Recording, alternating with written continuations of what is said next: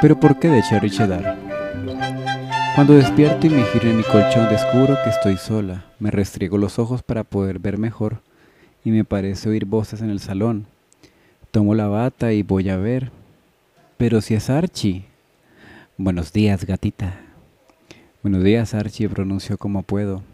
Verlos tan sonrientes me descoloca. Buenos días, pequeña. Buenos días, Albert. Veo cómo me sonríe, me sonríe, me sonríe y le devuelvo una sonrisa, parezco tonta. Está sentado en el sofá leyendo el periódico, viste su típico pantalón tejano y camisa oscura. Sin es que lleva los cabellos cortos y le faltan sus lentes. Ahumados podría decir que estoy frente al mismo Albert de hace 15 años. Candy, ¿por qué no avisaste que estabas otra vez por la ciudad? Me reprocha Archie. Tiene un disgusto medio guasón. Le molesta, pero a la vez se alegra de volver a verme nada más. Hay que ver ese brillo en su mirada. Muevo mis labios, pero no logro pronunciar palabra alguna. Para darme tregua, me vuelve a preguntar, ¿qué te parece si vamos a tomar algo? Así me cuentas qué tal te ha ido todo este tiempo o debes ir a trabajar. No, niego con la cabeza. Tengo el día libre después de haber acompañado a la delegación. Pues ya está. Este día lo pasaremos juntos como hace mucho no lo hacemos. Vístete, te esperamos para ir a dar una vuelta por la ciudad. Asiento y regreso a mi habitación. Intento de sentarme un poco, pero que no he tenido tiempo de pensar. Necesito pensar. Quiero atender lo que está pasando entre Albert y yo. Está claro que me descolocó ese equilibrio, se me hubiera nublado la razón que me mira de cierta manera o me dice ciertas palabras. El resto del tiempo sigue siendo tan agradable, caballeroso, atento como siempre. Son las 10 de la mañana cuando salimos del departamento. Archie conduce uno de los coches de la familia Andri. Mi cara de suplicio antes de subir a él es total. Y Albert la entiende. Me dice que no pasa nada, toma mi mano y abre la portezuela para que se suba. Mientras pasamos por las calles de la ciudad, mi querido Archie me cuenta que trabaja en el Banco Central Andri desde hace varios años y George le ha ayudado mucho para convertirse en un gran lobo en los negocios. Cuando pasamos por el lago Michigan es mi turno para decirles todo lo que ha pasado estos años. La muerte de la señorita Pony y la hermana María, colaborar con las nuevas institutrices y mi trabajo en el hospital hasta que Helen la jefa de enfermería me dijo que era trasladada a Chicago. En principio venía otra compañera, pero como está enfermo, tuve que suplirla yo. Albert compró unos emparedados y nos sentamos bajo la sombra de un frondoso árbol. Por la tarde fuimos al zoológico y pude ver que aún conserva ese gran aprecio y amor por los animales. Y le pregunté por Pupí y me dijo que Pupé. Me dijo que hace dos inviernos que había muerto. Me puse más trintona cuando me dijo que no tardó en darme un abrazo para confortarme como siempre, tan atento conmigo, mi corazón se pone a saltar a lo tonto mientras que no quiero que deje de abrazarme. ¿Pero por qué? ¿Desde cuándo me siento tan infantil? Dándome un par de tortazos imaginarios le digo que los invito a cenar, hoy cocino yo. Archie se emociona, pero Albert me ve extraño. Jeje. No puede evitar sonrojar cuando me cuestiona si estoy segura de ello. Creo que aún recuerda la última vez lo fatal que era entre fogones. Eso era porque estaba despistada pensando en otra persona. Les aseguro que no hago un estofado que está muy bueno, digno hasta que lo pruebe nuestro presidente. Ja, mejor intoxicarnos a nosotros si te evitas el lío. ¿Acaso se te olvida, Albert, que soy enfermera? Si te sientes mal, sé muy bien cómo tengo que cuidar. Ja. No sé. ¿Quién tiene más peligro, si la enfermera o la cocinera? ¿Quién como tú, que día a día curas mis fiebres? ¿Quién como tú? Uh, pequeña. Le saco una mueca y le saco la lengua por lo graciosos. Al final, para complacerme, deciden acompañarme para comprar los ingredientes una vez sentados a la mesa.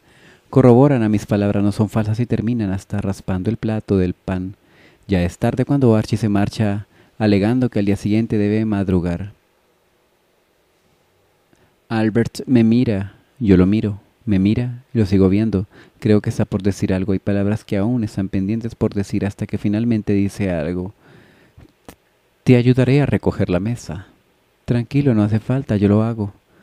Es lo menos que puedo hacer, ya que tú cocinaste. Tú también estás cansado de andar de arriba para abajo. No es eso precisamente lo que siento, Candy. Si quieres darte una ducha para sentirte más relajado, puedes hacerlo, pero ¿qué estoy diciendo? De seguro él tendrá una casa a la que volver, una mujer con la que regresar, pero porque ante esa imagen mi estómago se contrae. La sola idea me perturba. Yo, este, lo siento, a lo mejor eh, quieres volver a... Pero no me deja continuar. Se ha acercado hasta mí, me toma una de mis manos con voz ronca y gutural y me dice, está bien, si eso es lo que quieres. Yo me imaginaba como él se entraba al baño y se enjabonaba su miembro era bastante largo, de arriba hacia abajo. Y descarapelándolo todo, era como la trompa de un elefante, era increíble, era mi Bert, era mi príncipe de las rosas, mi príncipe de la colina, Dios mío. Solo estaba imaginando yo, ¿no? Deposita un beso en el dorso de mi mano y se dirige al cuarto de baño, cuando se encierra la puerta haciendo que vuelva a respirar. Cuando dejé de respirar, trago grueso para bajar el nudo que se me ha formado. Con un poco de Billy, sin duda no saber nada sobre la vida de Albert me altera. Mientras él se ducha, yo limpio los platos, recojo la cocina y dejo todo en su sitio. Cuando voy al salón lo encuentro nuevamente en el sofá leyendo el periódico, entonces es mi turno de ir a un cuarto de baño más. Más vale que sea agua, que me ayude a despejar mis pensamientos. No soy consciente del tiempo que paso intentando con el jabón desaparezca las interrogantes de mi mente y mi cuerpo. Cuando me siento más limpia que los chorros del oro, me pongo mi pijama y justo la bata antes de preguntarle a Albert qué, el qué, que tengo que decirle. Será él quien me tiene que aclarar muchas cosas, pero cuando me acerco hasta donde él, esta me sorprende de encontrarlo dormido recostado en el sofá. Viste una pijama azul, un pijama, pero ¿de dónde ha sacado este hombre ropa? ¿Se habrá quedado aquí los días cuando vivíamos juntos? Imposible. ¿Será Archie quien se lo trajo? Es más probable. Pero como es que Archie tiene acceso a sus pertenencias? Vivirán juntos cielos, Candy. Tu imaginación es desbordante.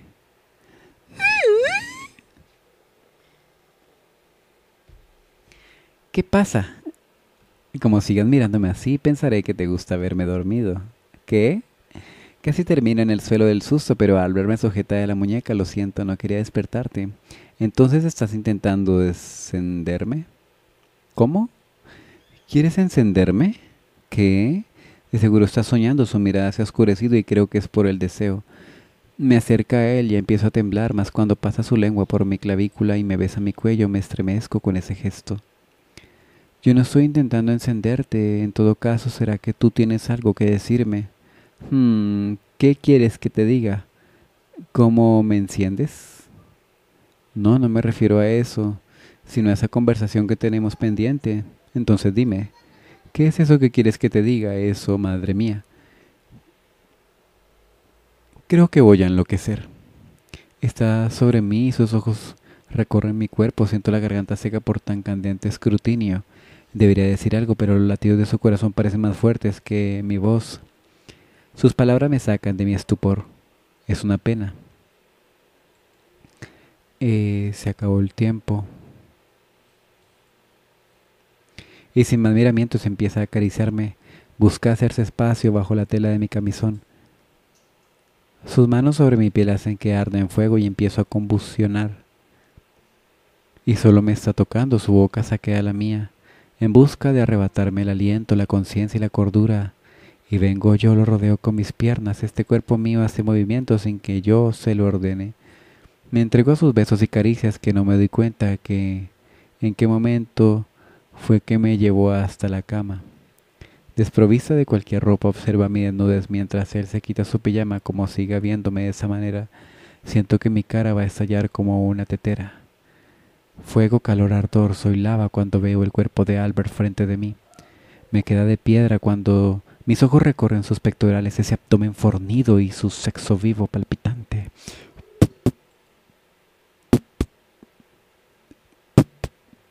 ¿Lo sientes, pequeña? Se inclina sobre mí, me besa y luego mi cuello acaricia mis pechos, sus manos juguetean mi centro. Hace que la temperatura aumente, cada momento sus besos siguen bajando por mi cintura, mi estómago, mi vientre y se detiene sobre mi monte de Venus para aspirar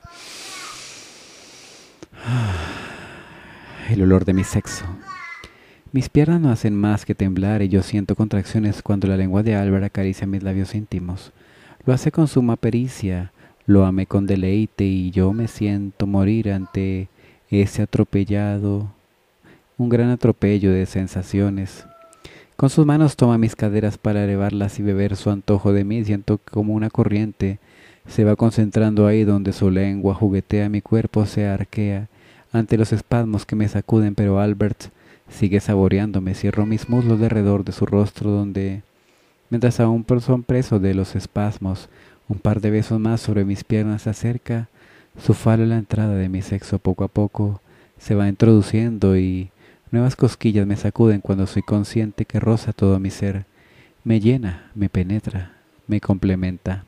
Siento fuego cuando su miembro entra y sale una y otra vez. Estoy tan húmeda que se desliza con sumo placer. Se siente tan bien, me pide que lo vea mientras me embiste una y otra vez. Me vuelvo lava cuando sus ojos me observan. Me pierdo en el azul de su mirada mientras su cuerpo se abre para recibirlo. Soy suya, suya, soy suya. Acabo de decir eso, no puedo seguir pensando en más cuando su boca me besa apasionadamente y bebe mis gemidos. Su lengua juguetea con la mía y roza cada rincón de mi interior tal y como lo hizo con mi sexo. Aumenta el ritmo y siento que voy a desmayar. Me voy a desarmar fuego, fuego, soy puro fuego entre sus brazos.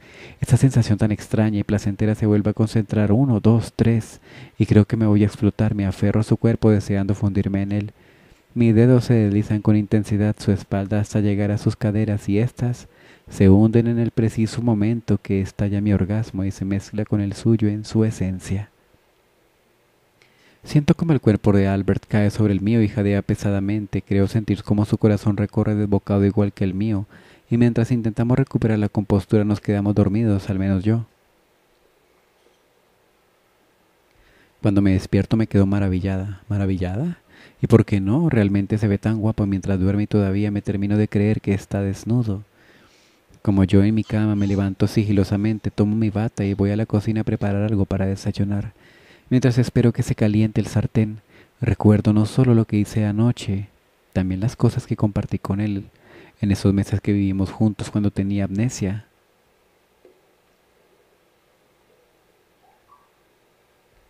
Me pregunto si habríamos terminado así de haber seguido bajo el mismo techo. Albert ha estado ahí cuando más lo necesito y menos me lo esperaba, cuando me salvó de morir ahogado en la cascada, cuando Neil le dio aceite de castor a los caballos e intervino evitando que el animal enfermara, consolándome por la muerte de Anthony, ni qué decir en Londres, mientras me buscaba una farmacia, como no ser atenta con él cuando llegó al hospital delicado. Fue mi oportunidad de poder volverlo un poco de todo ese cariño que tuvo conmigo. Fueron días difíciles. Pero siempre estuve rodeada de personas buenas y corazones generosos. Por eso pudimos vivir aquí por muchos meses. No recuperaba su memoria, pero sí su vitalidad y no le importó ponerse a trabajar, Albert es más bueno, que cuando fue contratado como experto en animales pudo comprarse su coche y dimos un paseo por el lago y compartimos el emparedado. Me pidió que compartiéramos siempre todo. Como una costumbre entre nosotros, lo recuerdo tan vívidamente. Candy, es lindo compartir algo entre los dos. ¿Por qué no lo hacemos nuestra costumbre? Déjame compartir tus problemas y tristezas, ¿quieres, Candy? Me gustaría. Desde hoy. Desde hoy seremos más que amigos, Candy. Ay, ya estoy llorando por esas palabras otra vez. Mi corazón palpita emocionado cuando me dijo eso. Fue tan lindo por su parte. Sentí que nunca estaría sola, pero desapareciste. ¿Con quién hablas, Candy? Albert. Me giró asustada por su presencia. Estaba tan ensimismada en mis pensamientos que no sentí acercarse. Trae solo puesto el pantalón de su pijama. Ese torso se ve... Ay, mejor me doy vuelta antes de que se dé cuenta de mi bochorno. ¿Estás preparando el desayuno? ¿Huevos fritos? Mm. ¿O una tortilla? Se acerca a mí y me rodea con su brazo tan fresco ignorando su apariencia. Así no me puedo concentrar, su boca está muy pero que muy cerca de mi cuello. Muy bien, ya veré cómo se me ocurre hacerlo, pero por favor, ponte algo de ropa. No es que vayas más vestida que yo. Me estremezco, se han dado cuenta de lo que estoy cubierta por la bata. Travieso juguetea con su lengua y mi oreja, su voz ronca me dice algo, es muy temprano, pero veo que estás muy despierta. ¿Qué, qué quieres parar? No quiero llegar tarde al trabajo. Es cierto, hoy toca volver al hospital, pero siempre hay tiempo para ti. Su mirada es tierna y cargada de deseo. Intento respirar o creo que terminaré por asfixiarme por culpa de sus oídos. ¿Qué quiere decir? Y como respuesta me besa, cielos. Lo hace tan deliciosamente rico, sus manos se aventan entre mi bata, buscan liberar mis pechos, le encanta acariciarlo, su cuerpo se pega a una de mis curvas mientras sus dedos hurgan en mi sexo y lo humedece. No sé cómo resistirme, no sé si he llegado a resistir, simplemente estoy disfrutando, pero ¿por qué? ¿Pero por qué? ¿Cómo es posible que Albert me ponga a 100?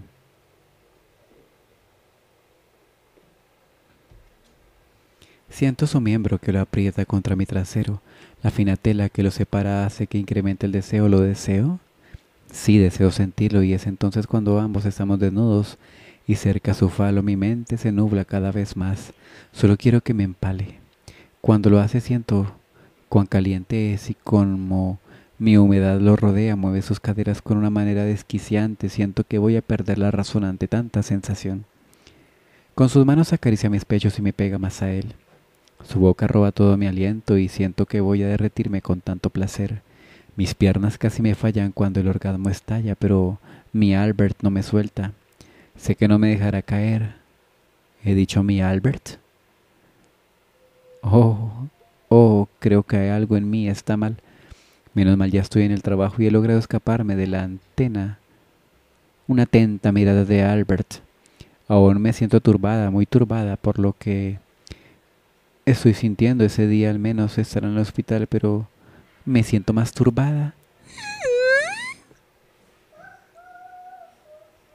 Me han encargado que prepare unos documentos hecho humos, porque cree que le voy a fungir como secretaria. Camino por los pasillos y siento que me arde la cara. Si alguien me mira detenidamente, creo que sería capaz de adivinar mis pensamientos. El director Muller se entrega unas carpetas para que prepare el documento que me ha pedido Albert, pero no me pongo en ello hasta después de ver a los niños. Me conmueven sus caritas, por lo que me gusta ser alegre y cariñosa con ellos. Cuando los dejo están durmiendo la siesta. Y es entonces cuando me dirijo al cuarto de las enfermeras y me pongo con las carpetas. Las chicas son amables y si veo que puedo ayudarles lo hago. Ya oscurecido cuando tengo la carpeta lista le pregunto a Margarita dónde es el despacho de Albert y me dice que es un pequeño al lado del director. Llamo a la puerta y nadie responde. Claro. Si me dijo que este día no iba a estar, por lo que he decidido entrar, enciendo la luz y me acerco al escritorio cuando deposito los papeles sobre ese observo mi derredor. Es un lugar muy austero. Pocos muebles, la verdad. Una estantería, un archivador de cuatro cajones, un escritorio, dos sillas, pero inexplicablemente unas fotografías en el diván detrás de su asiento captan mi atención. Las veo y no lo entiendo. Una es la de la tía Elroyd, otra de mis queridos los hermanos Corwell, la tercera de Anthony pequeño con una mujer. Puede que sea su madre, pero sobre el escritorio está una mía con mi título de enfermera, una mía, una mía, pero ¿por qué? ¿Pero por qué? Mi corazón late lo tonto, ¿cómo es que...? Porque Albert tiene una foto mía en su despacho, recuerdo al doctor Fresneda cuando me dijo que mi rostro le era familiar. Es por esa foto, respiró anormalmente. Creo que estoy a punto del sincope cuando escucho unos pasos acercarse, unos caballeros hablan. Lo reconozco, es el director y el señor Johnson. Pero, dime, Señor Andri, creo que las investigaciones de los laboratorios en Florida son realmente prometedoras. Mi jefe. Le está hablando un Andri. ¿Cuál de todos? Creo que debemos estar más pendientes de los futuros resultados. Hay que tener sumo cuidado. Los Ligan han demostrado interés por tener acciones en la empresa. Justo en ese momento la puerta se abre y veo el umbral de tres hombres. No doy crédito. El señor Johnson prosigue y aún no me han visto. ¿Querrán volver a tener negocios con la familia Andri? Me miran, los veo. El director Muller me mira y lo descarto como el señor Andri, el señor George Johnson. Me mira y puede dar por sentado que él no es el señor Andri. Ese se queda de piedra, pero no muestra ni una expresión, por ello se encargan de hacer sus miradas en el caballero que está entre ellos, ese señor Andri. Un Andri, es un Andri. ¿Qué otra explicación hay para que existan fotos de esa familia en este despacho? Estoy furiosa en cuestión de segundos, me he puesto roja y creo que voy a estallar como un volcán. Me siento engañada. Él es un Andri y no fue capaz de decírmelo, pero como el tío abuelo se enteró de lo que hemos hecho, Seguro que me arranca el apellido como quisiera hacerlo con mi piel, y me ponen de patitas en la calle. A buenas horas me vienen a importar eso. Candy, ¿qué haces aquí? Y se atreve a preguntarme, es que... Y le doy con la silla. Dejando el informe que me pediste, Albert, debería, ser, debería decir señor Andri. Eh, no puedo evitar disimular mi indignación, es total. Con ese control que logro reunir les digo que, antes de abandonar la estancia, espero que lo encuentre más entretenido que este juego. Buenas noches. Y recojo lo que puedo de dignidad y camino, con mi barbilla bien en alto, aunque se me note todo el enojo que tengo por dentro.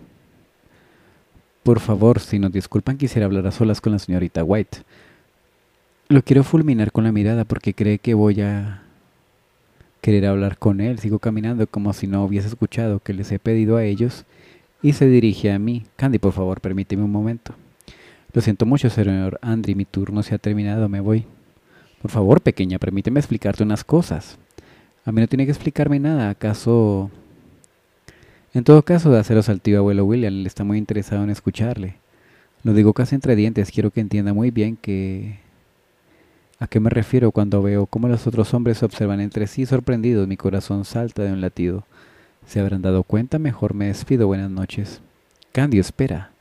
Me sujeta del brazo con intención de retenerme, pero soy tan molesta porque no dijera nada mientras que todos a mi alrededor lo sabían. Pero ¿por qué no me dijeron nada? tiró del agarre y le contestó muy clarito para que todos les quede claro que conmigo no se juega, no de esa manera. No, no, no, no, no, no, no voy a esperar ni nada, ni escuchar nada, si tanto le disgusta, es muy libre de hacer como los otros Andrés, los queridos primos ligan, y cerrarme las puertas de ese hospital porque me da igual, he dicho que me voy y punto.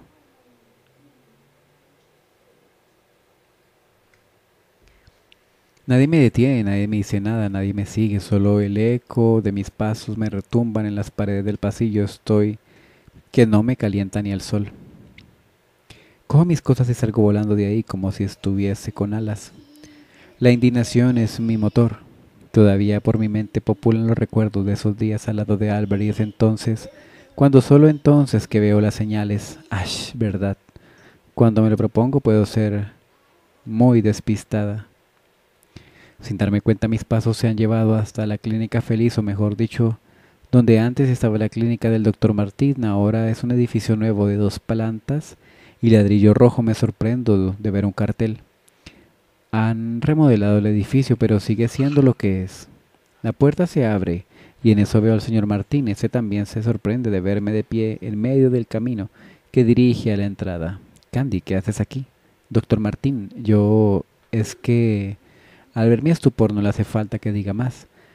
Me conoce, ya sabe cómo soy después de haber trabajado casi un año con él.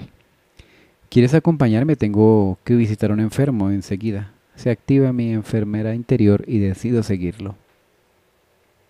Extraño los días cuando todo era tan simple y estaba trabajando con él, pero son diez años, diez años que me han permanecido lejos de esta ciudad, que han significado tanto dolor, lucha, tristeza, miedo para mí, Martín, que es muy listo, sabe que me estoy comiendo el coco. Así que cuando hemos terminado el trabajo me dice, Creo que tienes un conflicto muy fuerte en tu interior, Candy. Vamos a beber una copa, que eso te ayudará. Doctor Martín, pero qué cosa dice, usted no debería beber. No me creo que todavía sigue con este vicio. Al final tendré que volver a trabajar con usted para controlarlo. Ja, ja, ja. Pues si vuelves verdadero favor que me haces, tengo mucho trabajo. Y aún así, ¿se le ocurre beber? Ja, ja. Eres una enfermera muy estricta y muy bella también. No intente obligarme con salamerías, no lo va a conseguir ahora mismo, nos vamos para su casa y le voy a extraer todas las botellas de vino. Ya te lo dije una vez, eres muy buena enfermera, pero serías mejor si me permitieras beber. Finalmente Río no puede evitar hacerlo ante el recuerdo. Le hice rabiar miles de veces. Siempre escondía las llaves en un lugar diferente. Me alegra mucho verte sonreír, que enojada. Eso sin duda, dime Candy. ¿Qué te tiene de mal humor? Dime.